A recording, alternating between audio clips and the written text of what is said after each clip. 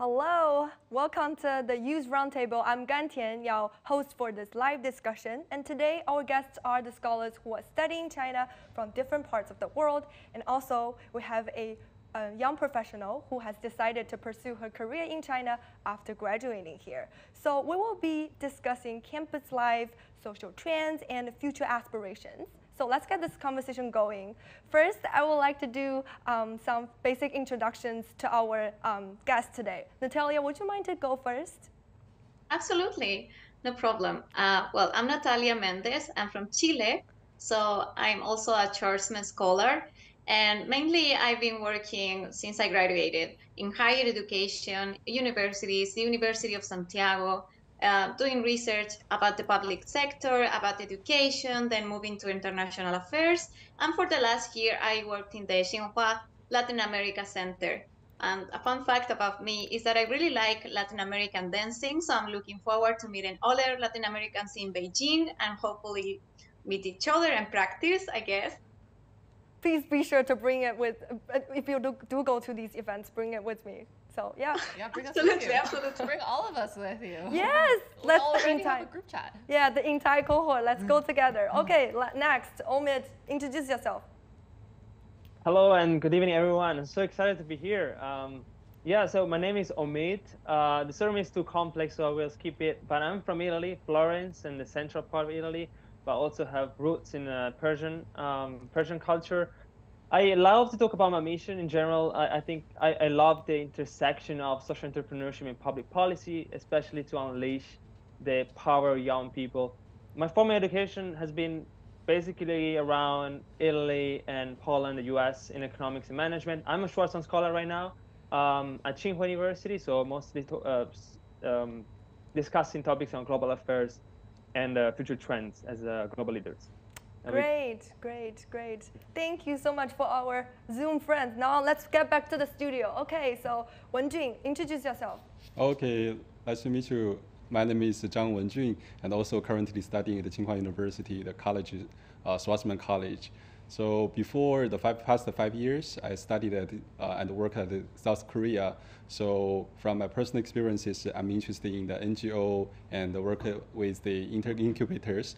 So I want to share with more my personal experiences in NGO and uh, robotics. So uh, wonderful fun fact about me is uh, before I speak Korean, I learning Korean. Actually, I uh, learned learned uh, Japanese before. Yeah. So you can speak both Japanese and Korean. Very good. Yeah. So rank them, like your English ability, Chi um, not Chinese, English ability, Korean, and then Japanese. Which one is the best? Yeah, actually, definitely my Chinese is my mother tongue, and uh, uh -huh. I secondly is Korean, and second, uh, third is English, and last is Japanese. Yeah. Interesting. Okay, Emma. Okay. Hi, everyone. This is Emma. I, um, well, fun fact, I am the one that's not a student. I am currently um, an editor here at CGTN. Um, I graduated in 2020 from a master's program, and then I took a gap year. I took a gap year and I went to work for a Korean company. And after that, this year, I finally came back to Beijing. I'm really excited to be back and to be here. Uh, and I also did my master's at Tsinghua University. So I'm very excited for you guys, um, Natalia, and Wenjun, to be starting their semester at Tsinghua.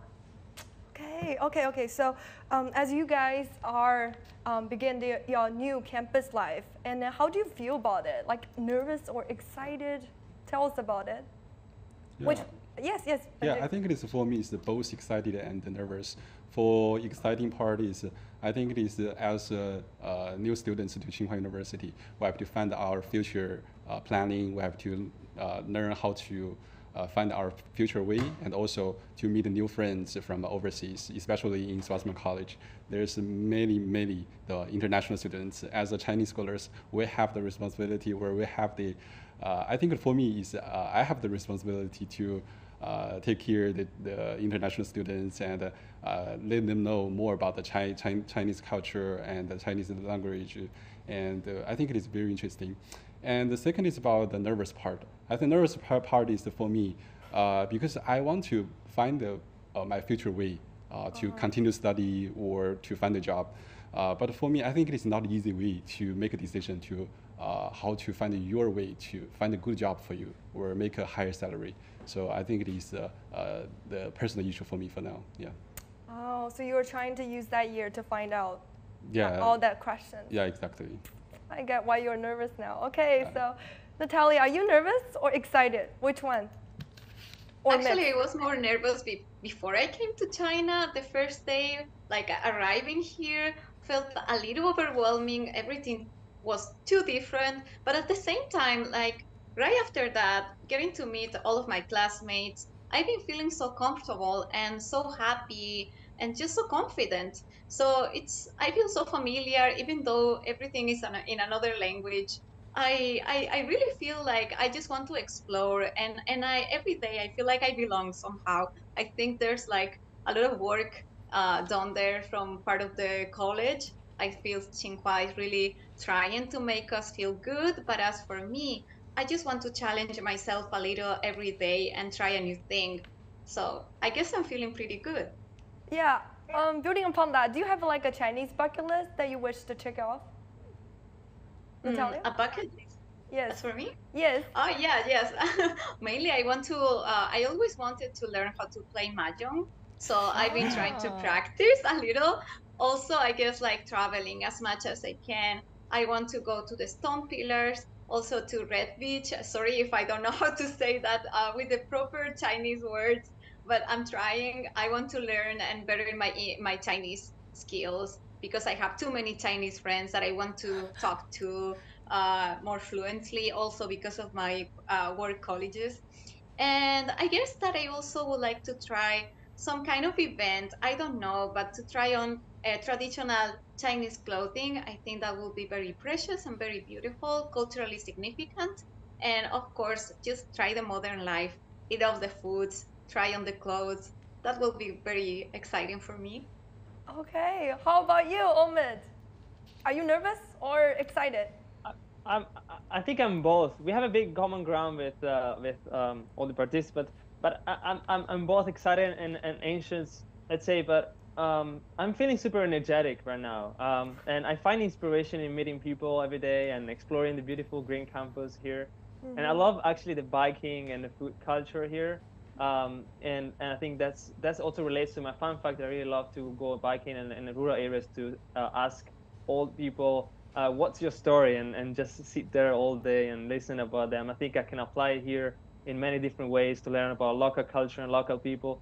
And I feel at home because we have been building a big community here, and a lot of community work starts from the roots of personal values. And I think we have done a lot of community building. I think I I, I, I, will be only excited from from few days uh, from now. Yeah, yeah, yeah. And also, I, I think there are a lot of Chinese communities um, in back in Ital- Italy, right? And then like the interaction. Like I'm very curious about like the interaction between the Italian community and the Chinese community back in uh, back in your hometown. So would you mind like a little bit like elaborate on that? Definitely, definitely. Um, and, and that's also one reason why I wanted to study in China. It was the first reason uh, out of three is that in, in close by my city, we have one of the highest density of Chinese community in whole Europe. Uh, just because in proportion of the, of the city I, I live in is it's uh, it's much higher, um, and I've been living in a place where in my road where I live, I think out of eight um, shops, um, out of 10 shops, eight of them are, are owned by Chinese people, and we speak more uh, Chinese than Italian in my own street where I live. So I, I, I got used to it, and I, I got curious about it as well because it seems very close because it's next door, but at the same time, you have a whole culture which is miles away and kilometers away that uh, I, I, most of people are, are, are, are, want to learn about. So um, the, the, the, the both community have been working together, but at the same time, the, the, the sort of a polarization over years that didn't allow for a deep understanding between dif- different cultures, and that's why um, I, uh, what I'm trying to do here is, is to, trying to understand how to culture uh, how to bridge cultures through mutual understanding, and how I can bring it back to my city in Tuscany and understand how we can work together better for, for our own community and and, and, uh, and social development. Wow, that's that's that's really that's I've learned a lot. That's very insightful, and I'm happy to learn more about that. Uh, okay, I will get back to Emma now. So what Oh. what what what is on your China's bucket list? Uh, my China bucket list. Uh, well, what do you think my China bucket list con- consists of, Gantian? I don't know. You tell me. you tell me Well, we can bring this in- conversation later. later. Yeah, yeah, yeah. We You don't want to this disclose- No, no, no. no, Okay, no, no. okay, I'm not sharing it today. Okay, okay, that's good. That's good. Okay. um, so, um, um, you, you, are you sure that you don't want to share it right now? Yeah. Okay, okay. Um, so let's shift the gears and then talk more about the future. So, um, do you? Okay, so again, I wanted to ask you, Emma, right now. You are the only one, except me, that have like a full-time job right now. So, would you mind to share a little bit about your personal experience, like your prof- Okay. professional experience? Sure, sure, sure. I think I think it was really interesting listening to Omid and Natalia talk about you know coming to China for for the first time, kind of, and living here. Because when I first got here, I had actually a lot of like culture shocks. I had a lot of culture shocks, and my first month, I thought I am leaving as soon as I graduate. I cannot adapt to this. But look where I am now. You know, I'm really happy. Um, to you know to be doing what I'm doing right now and to be here right now. Um, so, well, how did my education affect my career right now? I think if I didn't come to study in China, I wouldn't have, you know, decided to pursue my career here in the first place. Um, when I was doing my undergraduate degree, I did philosophy and I did it in the UK. So it was a lot about Western philosophy, and I thought that was mm, a very one sided view of the world. And I came to China because I wanted to understand more. I wanted to expand my worldview. And I thought if I finished my undergraduate degree and came to China, found a job, that would be too much of a shock to my system because it's vastly, vastly different. Um, and that's what I experienced when I came to study here. I thought the experience was gonna be easier if I came to study, uh, even though I can read Chinese. Uh, I probably didn't, you know, speak Chinese very well then. I could read, I could understand. It was still difficult for me to kind of um, assimilate or like adjust. Uh, but also, similar to what Omid and Natalia were saying, I had very good friends. I met really amazing people who helped me um, really kind of enjoy my life here. And I came to realize, you know, this is actually a different way of living that I prefer and I want, at least in the short to medium term right now, at this point in my career. That's what I want. So I think studying in China expanded mm, my view of what's possible in the world. Yeah. That's that's really good. And also, um, Wenjun, Yeah. So, what what what about you? Like, how do you see like going back to studying China again? Because you did your undergrads here. Yeah. Uh, what will fit into your long-term goal? Yeah, I think it's a very interesting story for me because in the past five years I uh, live and uh, studied in South Korea. So and in the three of five years, uh, three of five years, uh, because of COVID nineteen, so I cannot uh, commute commute from the South Korea to China very fluently. So uh, I just missed home uh, at South Korea. And so in South Korea, at my, ho- at my home, I rent a house near my uh, near my school. So I just uh, finished my everyday study. I uh, went back to home. I called called a video call to my parents. Just that I, I miss my home. So, but I cannot uh, go home. So in that day, I, I just uh, have a thinking, if uh, China opened the, opened the doors to the overseas, the Chinese. So when I go back to China, I will rethink and re-understand China again, and also travel to many places like in, Inner Mongolia, Xinjiang, Tibet. So many places I can go.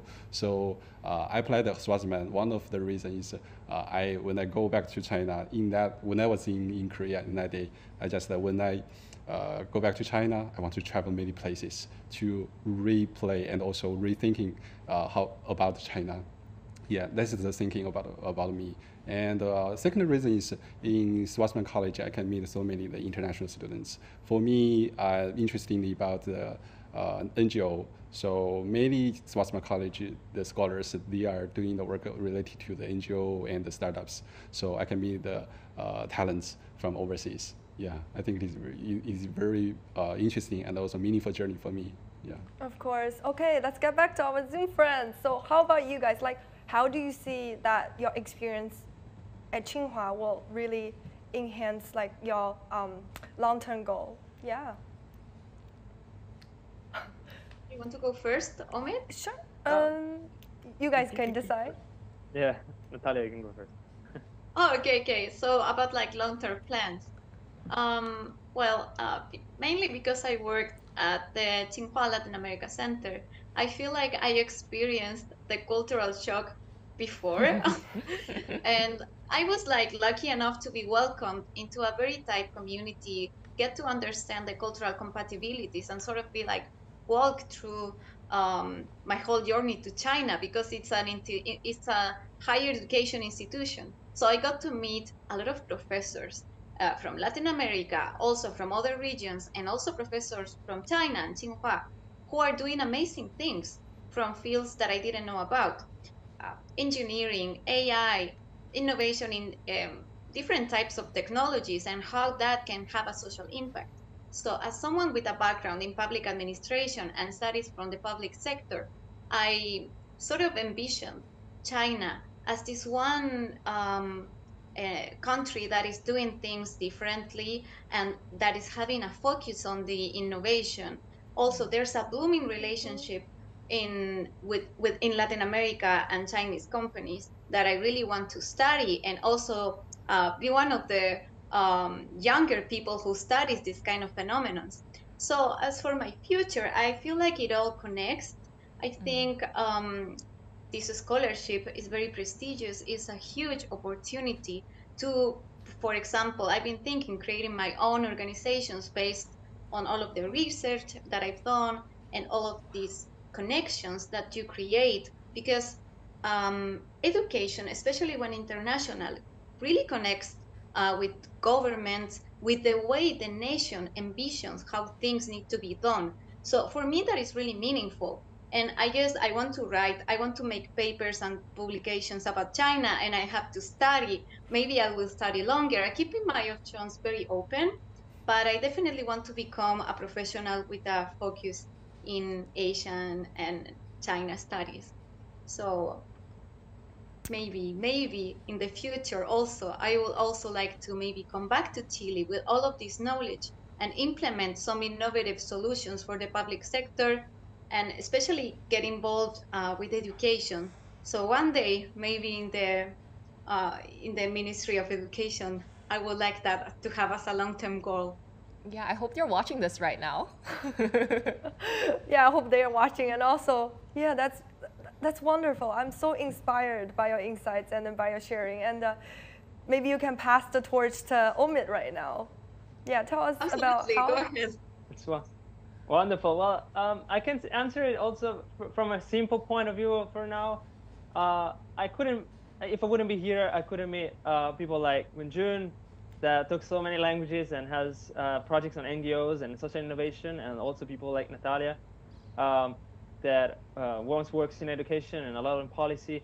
I mean, I think the core of, of this experience is a lot of uh, people because that's what probably the, the knowledge can can be, can stay and leave sometimes, but people will be staying there, and the same shared experience can shape us and can also make us collaborate in different projects. But to a macro perspective, I think um, in the same way, the next door my home is basically a totally different culture and and and and it's there since many years i feel the extreme need to be fluent in in china and that means be fluent in the cultural norms be fluent in understanding the the perspectives of the world understanding the the viewpoints and and also the business practices because at this point they're next to your door but also they wouldn't be next to your door there will be so many opportunities, but especially for my case, I, I, there's a huge, huge needs, immediate needs to learn about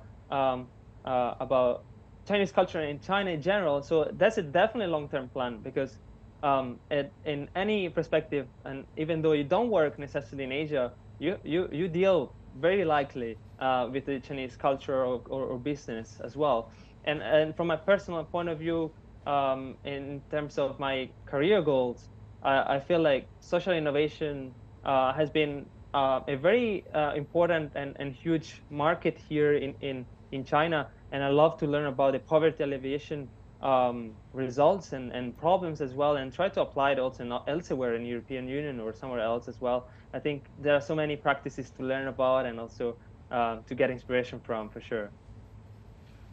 Wow. Oh, wow, wow. I just really like how diverse and stimulating our roundtable is today. And I think there is in China or globally, there is like a growing sentiment among Gen Z, like our age group, that the idea, like we're trying to challenge this idea that a set path or a linear progression in life. We wanted to take, for example, a break to discover ourselves and wanted to return to school or switch careers even. So there is like a huge desire to explore beyond. So what do you guys think? Like, do you um, do you think this will um, by exploring more different possibilities or paths, do you think that will make your direction more clear? Or do you think that will actually make you more uncertain or even more confusing? So, um, yeah, yes, Natalia, yes. Yeah, do you mind if I go first? Yes, okay. Yes, yes, um, yes.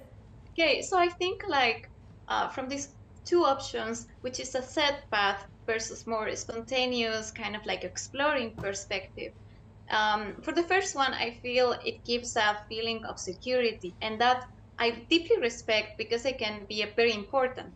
For example, in Chile and other Latin American countries, um, sometimes there's not enough opportunities. There's a problem with social mobility, with inequality, and other things. So, uh, having a set path can give people a sense of security and structure that can really improve people's lives. And I think it's important to understand that.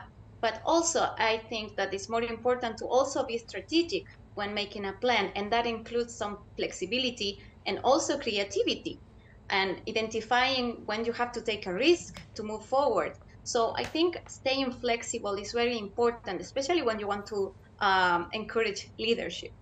Uh, so I think both are viable, but especially I wanted to talk about the second one in the sense that uh, youth are the future. And I feel like each generation has new ideas, new visions, and it's part also of the responsibility of the new generation, Gen Z, to imagine new and different ways of doing things that may be different from for what uh, we always did in the past. So I think it's actually a contribution to move forward to a different future and have fulfilling careers, and we have to support them because sometimes being spontaneous is also a better way to have significance in the things that you do. And in the end, I think that is what's really important whenever you're doing something in your career or in your life. Oh, um, yes, I yeah, think it's, yeah, please. No, no, no. I think, I think, I think, you know, I think Natalia raised a really good point, right? Having options or having choices is a privilege. We have to realize that we are very blessed to be able to, you know, do things like take a break or go back to school because, you know, some people don't get to do that and that's completely fine. You know, we do, we we are accountable for ourselves and also we might have other responsibilities um, you know some cultures take you know family responsibilities more seriously or you know um, all of that. So in anything that we do you know we need to respect what other people are doing and we shouldn't be imposing you know our own beliefs onto others. Yeah. So i think natalia raised a really good point. Yeah exactly. So for me i think it is uh, like i mentioned it before so when i was in korea i just thinking about uh, so we have to have a time to think about your life so that life will be your must i think it is it will be your gap year yeah so some of my friends near me, they are thinking about the, should they have the gap year? Is the gap year is necessary for them? So, but for my personal opinion, I think it is necessary. So the gap year for you, you can think about what's your future life, and I think it is everything changing very fast. Mm. So you have to take your time to think about what you, what you want to do. So uh, you have to think about your future life, and you can meet your friends and to share your different opinions with others. So that is why we, as a youth, to make the platform to get together, to share our opinions. So from others' opinions, we can learn uh, that is the other person's experiences, but what we can do uh, from your uh, perspective.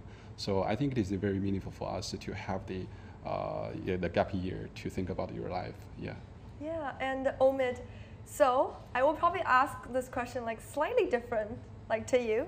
How do you see that more and more Gen Z they're exploring and then trying to take gap years? How do you think these will impact personal growth and the um, social perceptions, like impact on that? Wow, wow, that's that's a, a big and interesting question. Um, I love it. I think a lot of topics have been covered um, that intersect parts of the gap year concept, but I really love that you use the word exploring because um, it gives the option that considers so many factors and it considers that you might not it, might not be your, the best option for your gap year but it might be also the best option. So everyone has so many different backgrounds.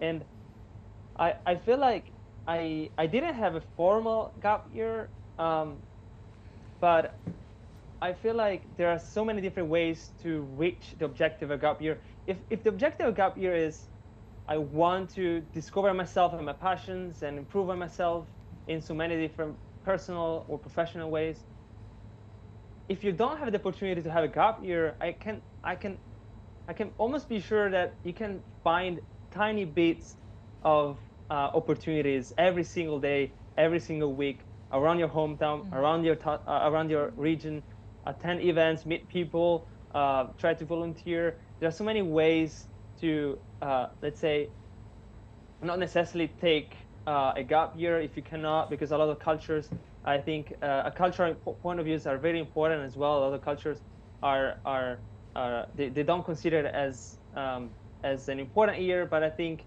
it's, the trend is changing as we are talking about trends. I think many many young people now they are, they are willing to take gap years because we know that nobody's chasing us nobody's chasing us and there is no delay in a career. There's no delay on anything. It's only about taking about uh, taking more time because i feel like we are making so many big decisions at the early age. At 14 years old i chose my high school. At 18 years old i chose my university.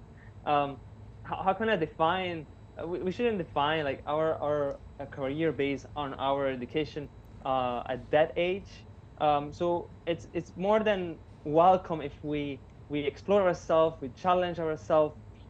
There are different places that you can easily take very cheap trains or flights to random places around Europe. In, the, in my case, um, and and you can just learn from people or or discover. And I think that that changes the inner part. That changes the exploration of of uh, of, uh, of society um, in many many different cases. So um, it, it's uh, it's very important.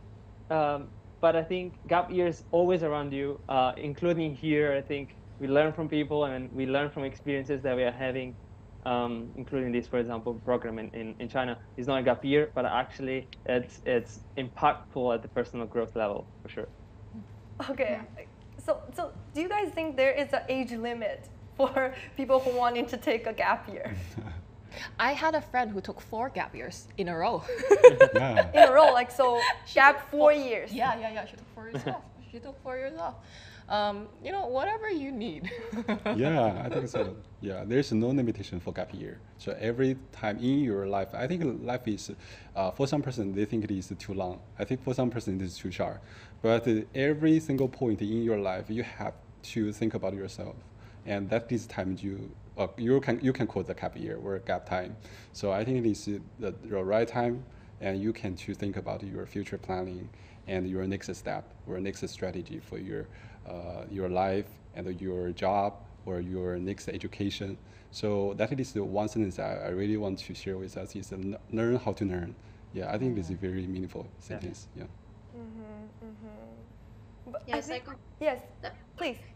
Yes, I just like wanted to say that I completely agree. And when I talked about like pointing out the importance of any type of mentality when approaching your career, mm-hmm. I think it's about the significance and building a sense of identity is only possible through experiences.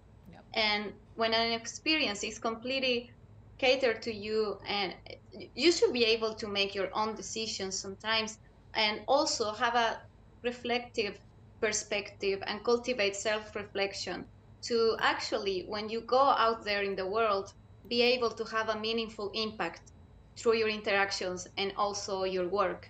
So I, I think I, I, I, also agree that a gap year uh, is very important to have that space to cultivate your identity and the experiences that you want to have outside of what can be more like uh, utilitarian, to put it in a way. Yeah.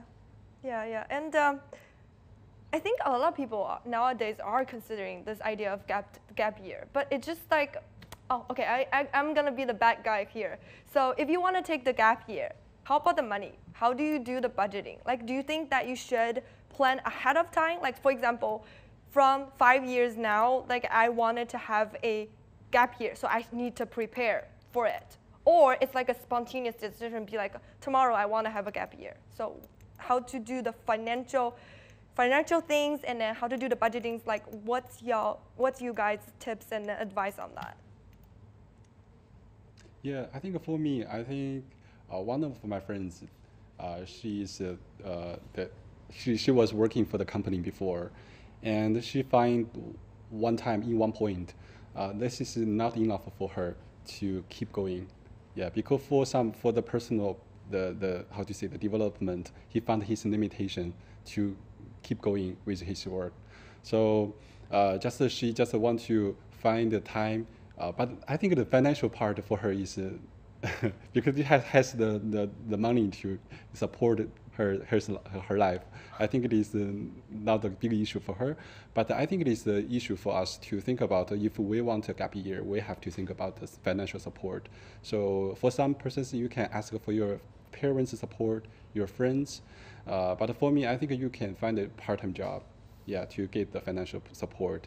And when you find a place to think about your life, uh, but I think you cannot stop to keep going. But you have to find like the, some job, uh, part-time job you have to do. Mm-hmm. Yeah. I mean, I think it depends on why you're taking the gap year in the first place, right? Like, because there are things like working holidays that you can do, like working holiday visas. You can go to Australia, pick strawberries or something, um, and then that that can be your gap year, and you're still making money, you know, and supporting yourself throughout that. So I think. Um, it depends. It depends on the purpose of the gap year. If you just want to take a break, if you think you know your work is getting a little bit um, too hectic for you and you just need a break, right? Then you can go home, stay with your parents, and literally take a break. And then that's fine too. I have friends, you know, at this at this um, point, like even though I've started working, this is like my second job in three years. My second job in three years. And some people think, you know, if I can't stick to one job, does that make me a quitter? Well, sometimes quitting quitting takes courage, first of all. Of course. And then quitting sometimes is the right decision. You know, if you notice something that's maybe unethical or, you know, doesn't sit well with you going on at work and you don't think this is sustainable, then, you know, by all means, you have given it a chance. You understand the situation. If this is the right de- decision, then you quit. Even if you don't have like a fallback, right? If you think this is wrong um, and you're able to quit, I think, you know, follow your guts, really. Follow your instincts. Mm. Mm-hmm. Anything that you guys wanted to add on, Omid or Natalia, about the budgeting for gap year? Just personal experience, I guess. But uh, whenever I want to take like a longer break, and sometimes that's possible, sometimes it isn't. But when it is possible, I really plan, and I tend to do working extra hard before uh, taking the break. So you're actually more tired when you're starting to get the break, but you can have more flexibility because you planned enough. Maybe you saved enough money. So I, I guess like it all comes back to strategy and like truly and really honestly knowing what you want, what you need.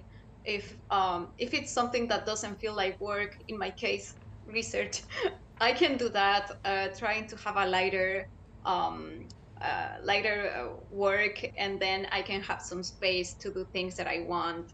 So I guess it all comes back to having a plan about on how you want to go on it. But if it is about um, really having that space, it really is important because at the end of the day, um, before we are professionals, we are humans and mm-hmm. we do have those needs. We need our communities. We need uh, safe spaces, yeah. and we do we do need time to reflect and to actually feel ourselves being alive. So I guess like I, I think it's really important. Mm-hmm. Mm-hmm. Anything that you wanted to say, Omid? Definitely. Uh, I really love I really love this conversation. I I think it doesn't have to be expensive. Um, the gap year and considering uh, um, um, our participant friends that had four gap years, I think maybe your first gap year would be a cheap one, but maybe afterwards during your career you will have better ones. So maybe it's just temporary gap year uh, experience. But also it can be a, a, a, gap month or something like that. And uh, there are so many um, online programs that allows you to volunteer or allows you to travel for very very cheap ways. Um, obviously depends um, on, on what are your aims and, and what kind of trip you're, you're going to do. I think there is options for every every kind of person, every kind of, of budgets. Um, my personal experience is that sometimes, well, not anymore, but before uh, a few years ago, we could find flights that were cheaper than a pizza dinner uh, in my city um, it was more expensive to go out to dinner uh, instead of taking a one-hour flight. And I think uh, if people would try to plan plan it ahead or be a bit more um, um, seeking a bit more like uh, interesting travels, I think they can find interesting opportunities in that in that side. But definitely, definitely, um, there are so many. If, if your objective is to discover your own inner self, I think there are many um, uh, smaller ways to, to do your, your gap year or gap month or gap weeks. Of course, of course. And um, thank you so much for the insights and time flies when we are having fun. So I hope you guys enjoy. I really enjoyed this discussion. And then um, I hope we can have more of this. And then thank you so much for watching. Thank you for joining us and see you next time. Bye bye. See you. Thank Bye. you for having us. See you. Bye. Bye.